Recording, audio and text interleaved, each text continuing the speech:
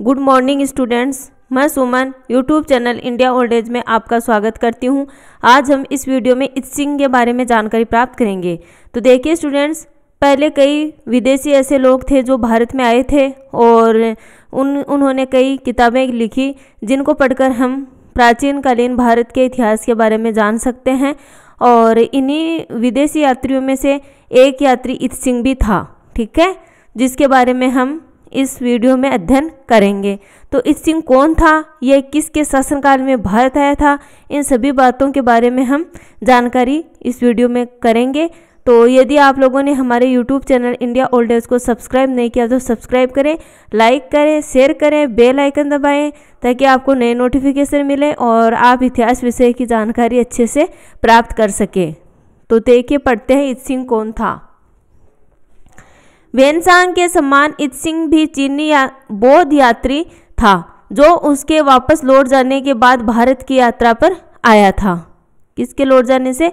लौट जाने पर वेन सांग के लौट जाने पर। छः सौ इकहत्तर या छः सौ बहत्तर ईस्वी में जब वह युवक था अब अपने सैंतीस बौद्ध सहयोगियों के साथ बौद्ध धर्म के अवशेषों को देखने की इच्छा से उसने पाश्चात्य विश्व का भ्रमण करने का निश्चय किया। बाद में उसके साथियों ने उसका साथ छोड़ दिया तथा वह अकेले कैंटन नगर से जहाज़ में बैठकर भारत की यात्रा पर चल पड़ा। वह दक्षिण के समुद्री मार्ग से होकर भारत आया। सुमात्रा तथा लंका होते हुए वह तम्रलिप्ति पहुँचा, जहाँ तीन वर्षों तक रहकर उसने संस्कृत का अध्ययन किया। यहाँ से उसने विभिन्न स्थानों की यात्रा की। अपनी यात्रा समाप्त कर छः सौ तिरानवे चौरानवे ईस्वी के लगभग सुमात्रा होता हुआ वह चीन वापस लौट गया। वह अपने साथ सूत विनय तथा सुत विनय तथा अभिधम ग्रंथों की लगभग 400 प्रतियाँ ले गया। 700 से 712 ईस्वी के मध्य उसने लगभग छप्पन ग्रंथों का चीनी भाषा में अनुवाद प्रस्तुत किया। इस सिंह का मूल ग्रंथ चीनी भाषा में लिखा गया।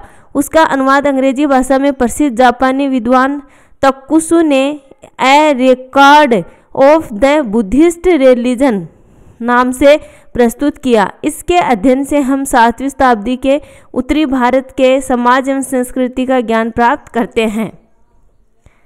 अपने यात्रा विवरण के प्रारंभ में इस सिंह चीन से भारत तथा उसके पड़ोसी देशों की यात्रा पर आने वाले छप्पन बौद्ध यात्रियों का विवरण देता है। सुमात्रा का वर्णन करते हुए वह हमें बताता है कि इसके किनारे पर एक समृद्ध व्यापारिक प्रतिष्ठान तथा धार्मिक विहार था। यहाँ से व्यापारी माल लेकर कैंटन को जाते थे। वह मार्ग की कठिनाइयों का भी वर्णन करता है। वह भारतीयों की धार्मिक परंपराओं का भी वर्णन करता है। उसके अनुसार बौद्ध धर्म के अन्वयी चार संप्रदाय, संप्रदायों जो निम्नलिखित हैं में बंटा हुआ था वो कौन कौन से हैं बौद्ध धर्म के चार संप्रदाय? आर्य महासंघिति आर्य स्थवीर, आर्य मूल सर्वास्तवादीन, आर्य सम्मतीय, ठीक है? चार भागों में विभाजित थे। कौन? बौद्ध धर्म को वो मानता है कि वह चार भागों में विभाजित था, जो हमने पहले पढ़ा है। मगध में प्रत्येक संप्रदाय उन्नत दशा में था। नालंदा का वर्णन करते हुए सिंह लिखता है कि इसके पूर्व की ओर 40 स्टेज पर गंगा नदी के किनारे श्रीगुप्त नामक राजा द्वारा चीनी यात्रियों के लिए बनवाया गया मंदिर स्थित था। वह नालंदा तथा विक्रमशिला के विश्वविद्यालयों का भी वर्णन करता है तथा हर्ष की दानशीलता एवं विद्या प्रेम की प्रशंसा करता है। इस सिंह के विवरण से हम हर्षकालीन भारतीय धर्म एवं समाज के विषय में कुछ ज्ञान प्राप्त करते हैं, किंतु वह वैन सांग के विवरण की भांति उपयोगी नहीं कहा जा सकता।